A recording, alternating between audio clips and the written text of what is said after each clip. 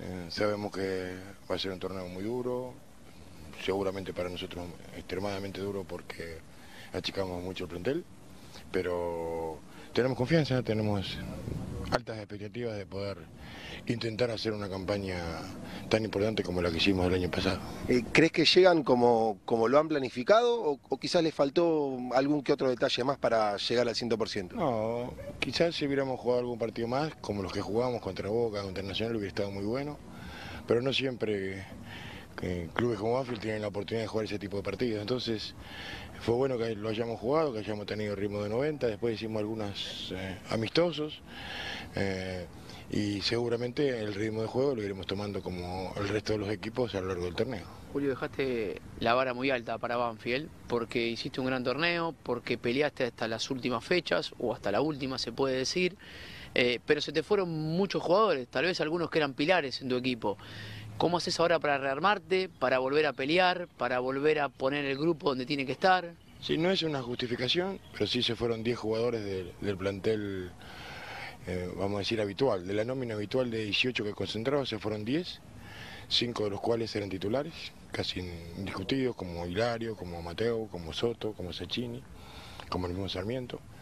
Eh, los otros 5 eran, alternaban, ¿sí? Eh, y hemos cubierto esas posiciones con dos jugadores que han llegado, dos jugadores de buen nivel o de alto nivel, como Pablo, como Mouche como, como Jesús, como Dátolo.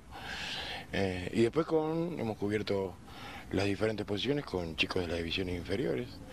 Eh, tenemos una base de jugadores que el sábado podrían jugar tranquilamente en cuarta división, de hecho alguno va a jugar. Eh, así que por eso digo de que estamos en un rearmado, en un reacomodamiento de la estructura, sabiendo que tenemos una base importante, pero eh, después estamos acompañados con muchos jugadores jóvenes que van a tener sus primeras experiencias en primera división. Sé que a esta altura nada te asusta y dentro de la cancha son 11 contra 11, pero cuando ves Racing cómo se refuerza, River cómo le llegan jugadores, Boca que no para de comprar, San Lorenzo que de a poco se acomoda con lo mejor que tenía por ahí el fútbol argentino en otros clubes, digo, ¿cómo haces para pelear? Eh, yo digo de que la brecha se va a ir agrandando cada vez más, ¿eh? y con el correr de los tiempos, por lo que representan los clubes grandes, por la convocatoria que tienen, por la masa societaria que tienen, porque los sponsors le pagan más, porque la televisión le paga más, seguramente van a tener mayores facilidades para poder eh, adquirir o comprar jugadores eh, o hacer planteles de mayor jerarquía. Lo demás nos, nos debemos abocar, como está haciendo Banfield, me parece, a trabajar con las divisiones inferiores, a tratar de tener un sustento importante con, con jugadores que desde lo deportivo y desde lo económico le den un futuro al club, como fue el caso de Cecchini, como fue el caso de Soto que vino muy joven, eh, entonces como fue el caso de Tomás Rodríguez que también vino muy joven. Entonces de esa manera tratamos de, de fortalecer el club de estabilizarlo desde lo económico y desde lo deportivo, hacer uso, no abuso, pero sí uso del trabajo que también tenemos en divisiones inferiores. Eh, ¿Qué has podido ver de, de Belgrano? ¿Te preocupa algo? ¿Ha tenido muy buenos partidos amistosos?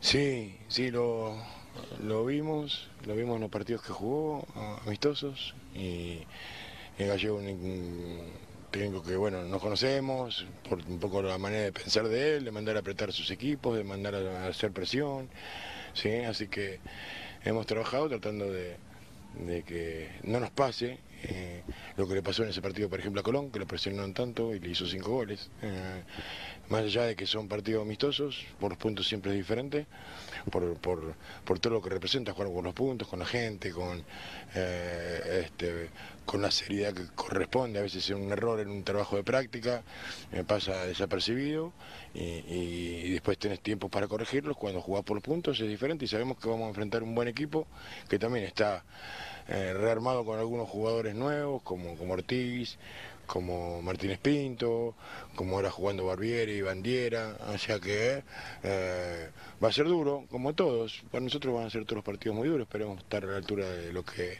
de la exigencia del torneo. Hace un rato hablabas de, de la cantidad de jugadores que, que perdiste en el plantel. ¿Has hablado algo, por ejemplo, con Arboleda, con Sporle, con Linares, que son chicos del club que ahora van a tener la responsabilidad quizás de ponerse la camiseta titular este, y en la primera fecha ya recibir a Belgrano como local? Ellos tienen mi respaldo, ¿sí?